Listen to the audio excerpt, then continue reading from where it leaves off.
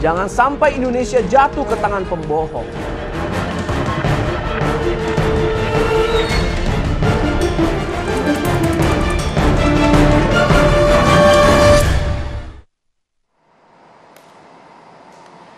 Pelaksana tugas Ketua Umum PSI Giring Ganesa menyebut Gubernur Anies Baswedan sebagai pembohong. Tidak hanya itu, mantan vokalis grup Beniji ini juga menghimbau masyarakat untuk tidak memilih Anies pada Pilpres 2024 mendatang. Pernyataan Giring sontak menuai pro dan kontra. Tak sedikit yang menyerang balik. Ambisi maju sebagai Capres 2024 dituding menjadi motif di balik kritik. Manakah yang lebih didengar publik? Simak selengkapnya di dua sisi bersama saya Dwi Anggia.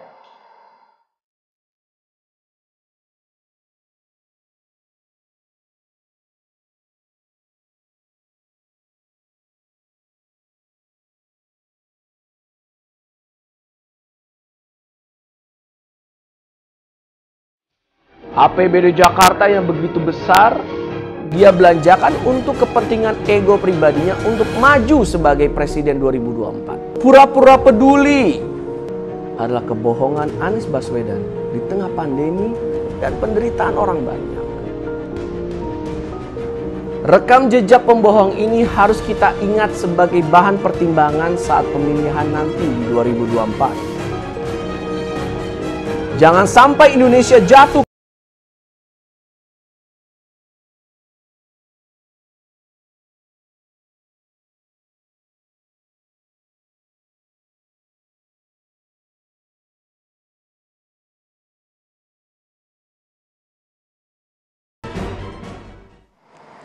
Ya, pernyataan Giring Ganesa memang menuai perhatian publik.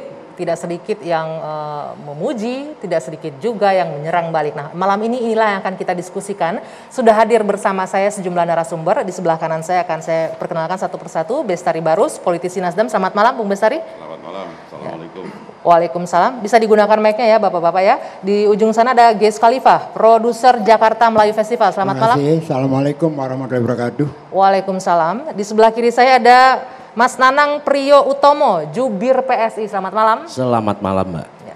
Dan di ujung sana ada Bung Faisal Segaf, Ketua Progres 98. Selamat malam. Selamat malam. Ini luar biasa ya pernyataan uh, eh, PLT Ketua Umumnya Mas Nanang ini yang menarik perhatian banyak pihak dan nggak tanggung-tanggung ini menuding, ini udah bukan menuding lagi nih, menuduh, mencap, melebel Gubernur Anies pembohong. PSI itu sebenarnya punya apa bukti data yang kuat seperti apa untuk melebel Gubernur Anies Baswedan sebagai pembohong? Ya sebenarnya bukan cuma PSI ya, hmm. tapi kalau kita cermat ya semua juga bisa melihat. Hmm. Jadi yang yang dimaksud dengan kata pembohong di situ sebenarnya sangat sederhana, Mbak yaitu namanya orang bohong itu ya apa yang disampaikan beda dengan apa yang apa yang dikatakan beda dengan apa yang dikerjakan. Okay. Yang dicatat oleh PSI pada saat kampanye Pilgub dulu dalam debat-debat kita sering dengar bahwa Pak Anies sering berkali-kali mengatakan keberpihakan, keberpihakan, keberpihakan. Nah, sementara pada saat sekarang mhm. yang terjadi adalah kita melihat pada saat pandemi COVID-19 sedang merebak, masyarakat kehilangan pekerjaan, banyak yang kehilangan pekerjaan, banyak yang turun pendapatan. Ini ada uang yang sekian banyak justru digunakan untuk menggunakan, eh, mengadakan balapan Formula E dengan dana yang begitu fantastis.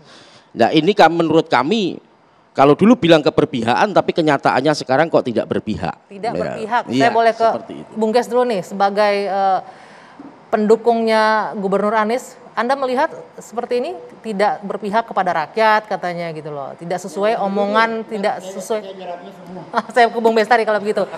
Sepakat bahwa tidak berpihak kepada rakyat. Tidak dilakukan apa yang diomongkan dengan yang uh, sesuai perbuatannya tidak sesuai. Seharusnya saya juga yang lain dulu gitu. Tapi oke lah. Papa ini pemanasan saja. saya kira begini. Saya juga agak terhenyak ketika dikatakan gubernur itu bohong gitu hmm. ya.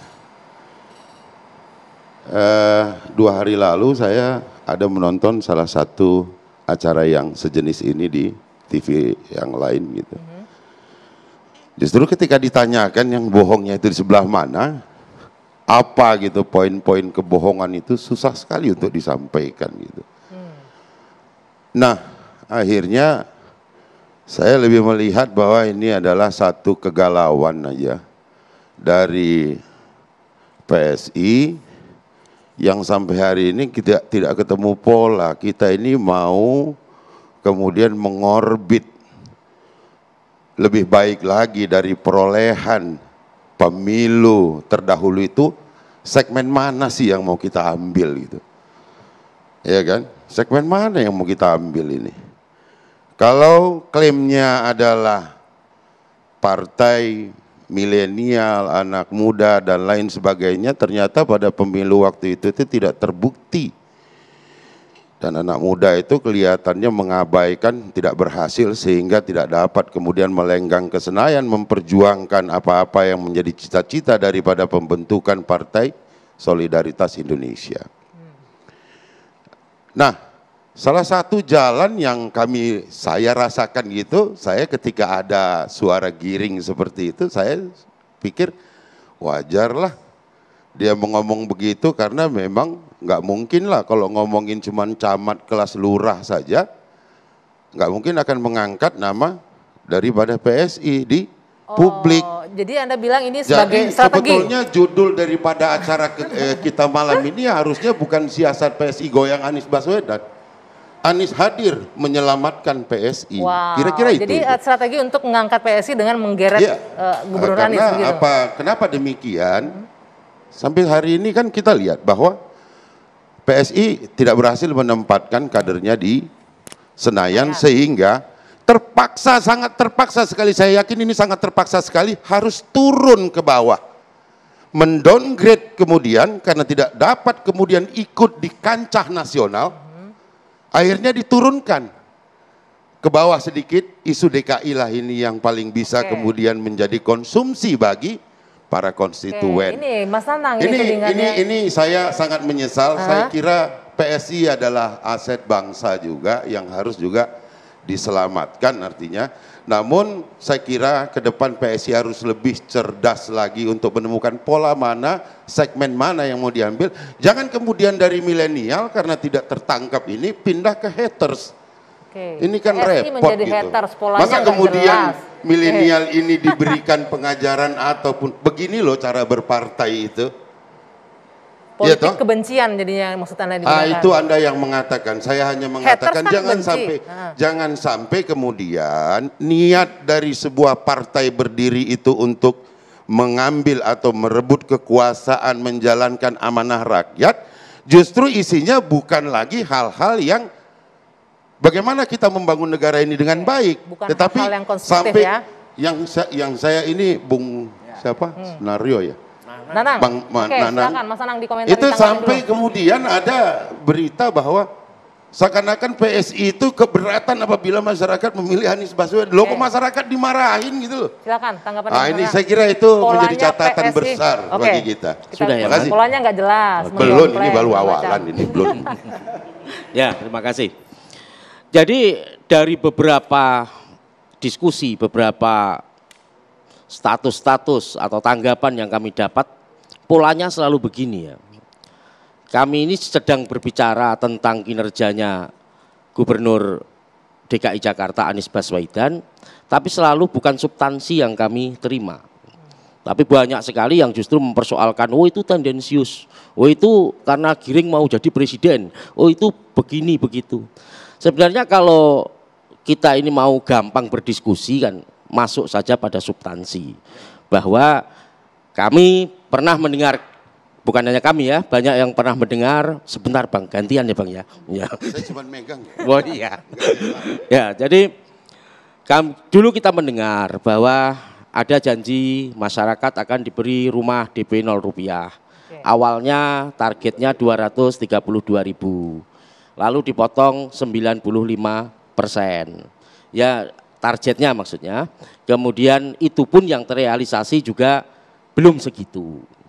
Lalu kita pernah mendengar akan ada pembukaan 40 ribu lapangan kerja per tahun melalui program OKOC. Kita baca e, banyak sekali spanduk bilang diberi tempat kerja, diberi modal, dicarikan pembeli. Tapi sekarang tempat kerjanya di mana? Modalnya berapa? Kalau dicarikan pembeli bagaimana? Wong yang jual saja tidak ada.